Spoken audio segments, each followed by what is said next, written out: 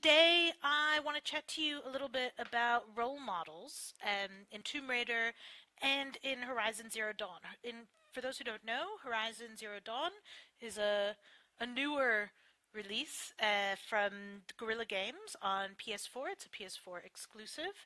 And Tomb Raider, which has been around for over 20 years, Lara Croft is kind of synonymous with women in gaming. So uh, I just want to compare a little bit because Aloy, the redheaded lead of Horizon Zero Dawn, is um, you know she's a phenomenal character. I absolutely adored her, and so I want to compare Aloy from Horizon Zero Dawn a little bit with uh, Lara Croft from Tomb Raider. Now, just to be clear, this isn't to say like one is better than the other or uh, I prefer one over the other. I mean, I do prefer one over the other, so I suppose I am saying one is better than the other. But I think it's important to point out, like, both are important role models and they serve unique purposes. But before I get into that, I kind of want to talk a little bit about what I'm on about when it comes to a role model. So, to me, it's it's not so much. Obviously, I'm raising a young woman. I'm raising a little girl, Harley, this isn't a phone call. This isn't a Skype call. This is Facebook Live. Do you think you're on the phone? Are you saying hello? Uh, for those who don't know, I'm Zoe. This is Harley. And yeah, so she. yes. So, anyway, role models, uh, to me, it's more about showing what's important. It's more about showing what's possible. And uh, the whole idea of, um, you know, if you see an astronaut, yes, it's really cool as a woman to see a female astronaut. But even if you see a male astronaut, that still inspires you. That can still show you like space travel is possible. So it doesn't have to be a female uh, astronaut to inspire young girls. That said, I think also it's important to realize that female role models are good for women and for men, for girls and boys, really, is what I'm talking about in terms of role models. So if you see Lara Croft and she's kicking ass and she's solving puzzles and raiding tombs and all of that, then it kind of shows to boys and girls that women can be strong, that they can be smart, all of that. And so while it's particularly important for girls to know that women can be smart and strong, I think it's also relevant that boys see that as well, that boys learn that women can be strong, that they can raid tombs, that they can do anything that needs doing. It's kind of my whole thing about role models, is that it's more about making sure that people know what's possible, that, you know, women can solve puzzles, that women can shoot everyone. I don't know, Tomb Raider's a bit sketchy on that one, and Horizon Zero Dawn as well. But this whole idea of what is a role model, it's just to open up the idea of what is possible. And it's not necessarily about, oh, only women can be role models for girls, but more just about how cool it is that women can be role models for girls and boys in gaming. So, that out of the way, I want to jump right in and talk a little bit about Tomb Raider. I mean, she Lara Croft was the original female role model in gaming, so she's very important. Uh, and I think it's really interesting. Like 20 years running, she has been the face, the name of an entire franchise, a really successful franchise. And when you talk about uh, female protagonists, you know, we we all want to see more diversity in terms of the types of protagonists that games have. And Lara Croft was the first real woman who was the head of a franchise for 20 years, over 20 years now. And she's an absolute badass. Like, let's just be clear about that. Lara Croft is amazing and kind of like the trailblazer in this regard. So I adore her. Um, even with her flaws, she's not a perfect role model, but that's okay. Uh, no one is. So, what I like about Lara Croft is that she is really smart. And I think that's something that often isn't really stated enough. That, you know, we talk about how she can, you know, tomb raid and jump around and climb places and shoot guns and whatever. And that's also really important. But I think the main thing that I always draw from it is that she outsmarts everyone in every game. She's the one running around and finding the treasure, finding stuff, solving puzzles, beating the men to the treasure.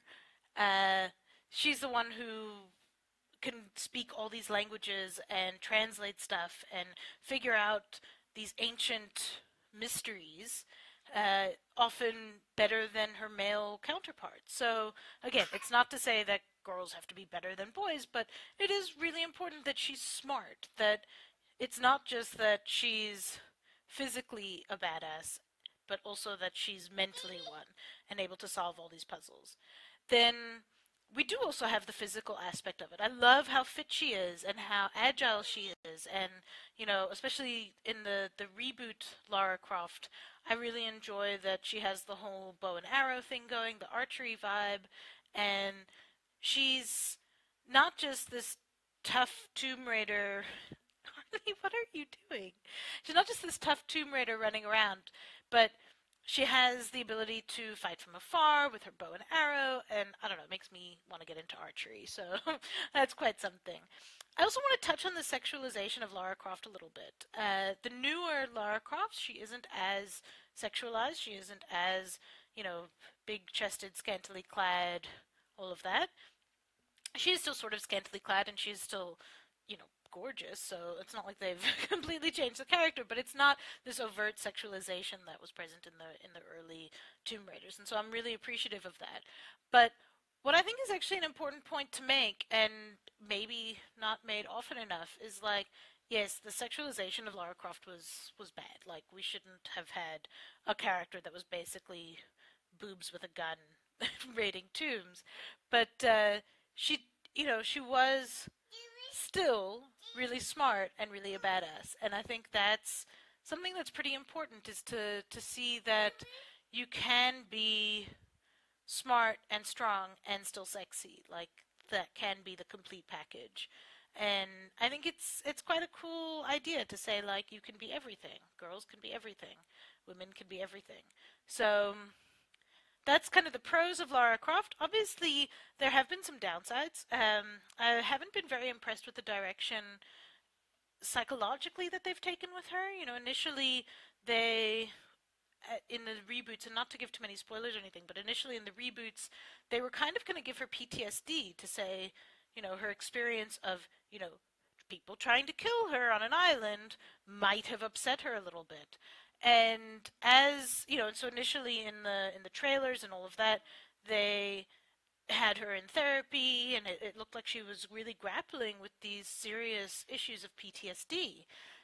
Now, then, when the game actually came out, that was less so, and so I think that it's worth pointing out. It's worth noting this, like she isn't allowed to be vulnerable that that's seen as weakness and i think that's a negative. I think that you know part of a character of any gender's strength is their ability to get help when they need it and to accept help from other people for them to uh, you know to accept when something has troubled them and to work through it that that's a sign of strength as compared to weakness. And I think that was something that was underplayed. Are you stealing my child, my love? Bye, Harley. Say bye to the stream. You'll come back just now. So I think that's something that's worth talking about is that, you know, Lara Croft is the strong character. She's smart, and yet she's never really allowed to express her emotions. And I think that that's a, a point that I'd like to see more in future Tomb Raider games is that, you know, personally, if I had someone come after me, starting to shoot me and try and kill me and capturing my friends, I think I would also have a bit of PTSD and maybe need help or at least talk to my friends about it and be like, whoa, that was a really intense experience, don't you think? And cry or not cry or scream or lash out or whatever the emotional response is is fine. They just kind of seem to make her shut down a bit more. Like obviously shutting down is also a response for some people but it just didn't really gel for me. Uh, yeah so that's kind of the the tomb raider side of things. I also find lara croft personally uh, and I know I might be an outlier on this, but I don't find her very relatable Like it, it feels a bit difficult to relate to a character who's really wealthy and lives in a mansion, and that you know it's uh, many other aspects of her personality are relatable, but that in particular, it ends up being like when she's whiny or when she's upset, you get that kind of poor little rich girl vibe from her, and that's fine. Like rich people also have problems, but it just makes th- that Lara Croft is a bit less relatable. On the contrary, I found Aloy, the protagonist from Horizon Zero Dawn, to be really much more relatable. And I think part of that is because she starts the game and goes through much of the game as an outcast. And that, you know, I think underneath it all, we can all relate to an outcast. We all feel a little bit like we're on the outside, that we're not connected to society or we're not connected to a group or whatever it might be. Um, and so I think that that aspect makes her more relatable that that you can relate to a character who doesn't feel like she's included or literally isn't included. And then as a result as they move through and meet other people who go like oh you're a part of this group and they're like well that group didn't really accept me and there's a bit of back and forth on it. So that's something that i think makes aloy much more relatable which then makes her a better role model because then we can all imagine being outcasts and overcoming that and kind of showing those people who you know just how great we are and, and all the stuff that goes along with that so um, taking that forward, Aloy has a lot of the same qualities that Lara Croft does. Now, obviously, she's also the archery lady. I really need to learn archery. Like these games, I just want to shoot bows and arrows and all that. So she's got the archery thing down as well, but she's also really, really smart, and I like that. She's out there to solve puzzles, and she's courageous, and she's sarcastic, which for me is always a, a bonus.